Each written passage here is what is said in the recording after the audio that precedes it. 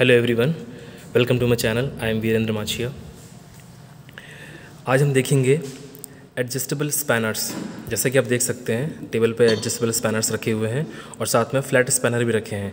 है ना? तो फ्लैट स्पैनर मैंने आपको सिर्फ़ दिखाने के लिए रखे हैं कि ये फ्लैट स्पैनर होते हैं। इसका मैं अलग से अलग सेपरेट वीडियो बनाऊँगा, जिसमें आपको फ्लैट स्पैनर की सारी डिटेल दूँगा। ठीक है? तो हम स्टार्टिंग करते हैं एडजस्टेबल स्पैनर से। एडजस्टेबल एडजस्टेबल स्पैनर जो होता है ये स्पैनर इसकी लेंथ से और इसके एडजस्टेबल जॉ से जाना जाता है। ये देखिए स्टार्टिंग करते हैं हम इसकी जॉ से। तो जॉ जो है इसका एडजस्ट हो जाता है एक एडजस्टिंग स्क्रू से। ये एडजस्टिंग स्क्रू है, ठीक है? एडजस्टिंग नट कह सकते हैं इसे। ये राउंड नट होता है, इस पर हेलिकल हेलिकल पाथ में डिज़ाइन बनी हुई होती है और इस पर ग्रूव्स बने होते हैं छोटे छोटे जैसे कि आप देख सकते हैं, है ना? ये ग्रूव्स जो होते हैं, ये हमारे फिंगर को ग्रिप करके हम जब आगे पीछे करते हैं फिंगर तो ये घूमते हैं। और इसी के घूमने से इसमें स्लॉट कटे होते हैं किसमें मूविंग जॉ में। ये मूविंग जॉ अंदर तक के यहाँ तक के, जैसा कि आप देख सकते हैं, देखिए। अंदर मूविंग जॉ है। मूविंग जॉ जो होता है, इस हेलिकल पाथ जो कि रोटेटिंग स्क्रू पर बना हुआ है, जिसे आप एडजस्टिंग नट भी कहते हैं। इस पर हेलिकल पाथ बना हो जिसके कारण ये हमारा जो मूविंग जॉ है, ये आगे पीछे होता है। ठीक है? ये तो हो गया इसका फिक्स जॉ ये हो गया इसका मूविंग जॉ ठीक है?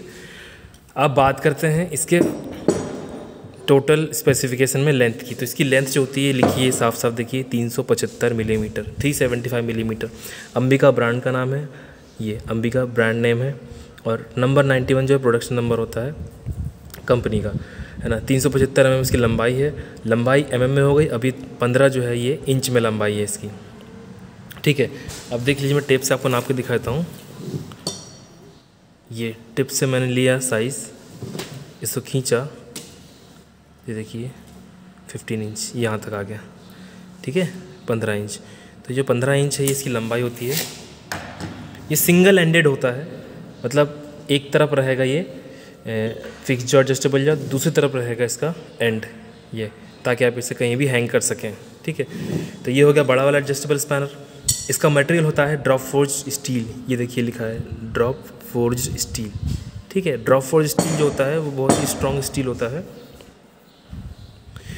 जिसे हर स्पैनर में यूज़ किया जाता है। जैसे कि मैंने आपको पाइप रेंज में भी बताया है है ना? पाइप रेंज जो होता है, वो भी ड्रॉप फोर्ज स्टील का बनता है। ये छोटा एडजस्टेबल स्पैनर है। एडजस्टेबल रेंज में ये देखिए साइज़ यहाँ पे लिखा होना ज़रूरी है। बी आई आर जो है, ये ब्रांड का नाम हो सकता है। और ये सिक्स और डबल डैश जो लगा है ये इंच का सिंबल है। तो ये इसका साइज़ जो है सिक्स इंचेस है। देखिए मैं टेप्स आपको दिखा देता हूँ। ये देखिए।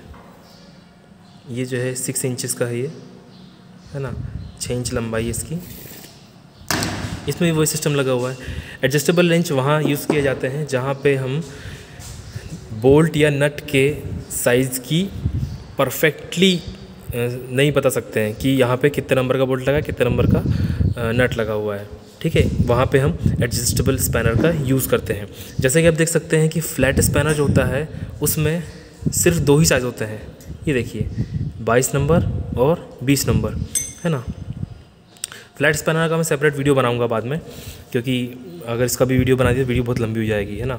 तो एडजस्टेबल स्पैनर और फ्लैट स्पैनर में सबसे बड़ा अंतर ये है कि it can adjust easily it can not adjust ये फ्लैट स्पैनर पट्टी पाना जैसे बोलते हैं, इसमें एक ही पाने में दो ही साइज़ होते हैं। देखिए डी पाना ही बोलते हैं इसे। और ये डबल हेड फ्लैट स्पैनर है क्योंकि इसमें दोनों तरफ़ आपका हेड दिया हुआ है है ना? अब मैं दिखाता हूँ आपको कि ये फिट कैसे होते हैं नट में।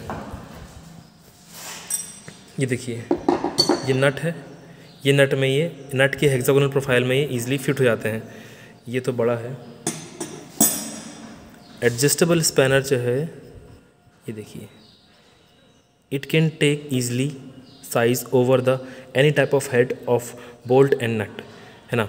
किसी भी बोल्ट और नट का ये साइज़ लेके ग्रिप कर सकता है उसे।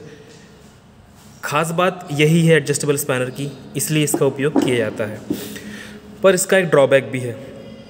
ड्रॉबैक ये है कि देखिए, आपने एडजस्ट तो कर लिया इसे but it can not use for high torque आप इसे ज़्यादा फोर्सफुली यूज़ नहीं कर सकते। क्यों? क्योंकि भैया एडजस्टेबल स्पैनर में जो दम लगाता है, ये स्क्रू होता है।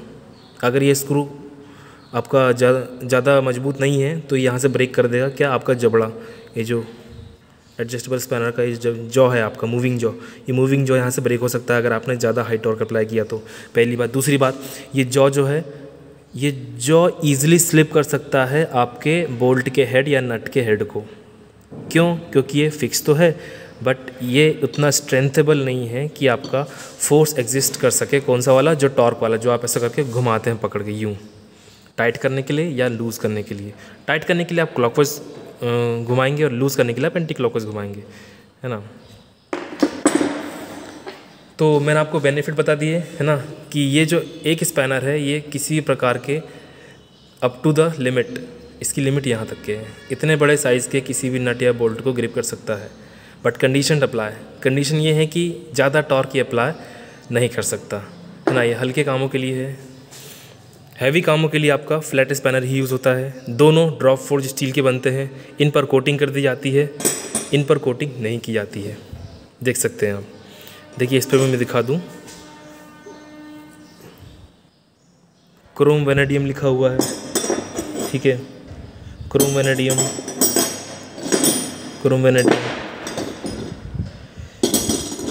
तो ये जो स्पैनर है क्रोम वेनेडियम की फिनिशिंग वाले होते हैं और बड़े स्पैनर जो होते हैं, वो आपके ड्रॉप फोर्ज के बनाए जाते हैं। ठीक है। तो अभी मैं आपको दिखाता हूँ एक और, एक मिनट।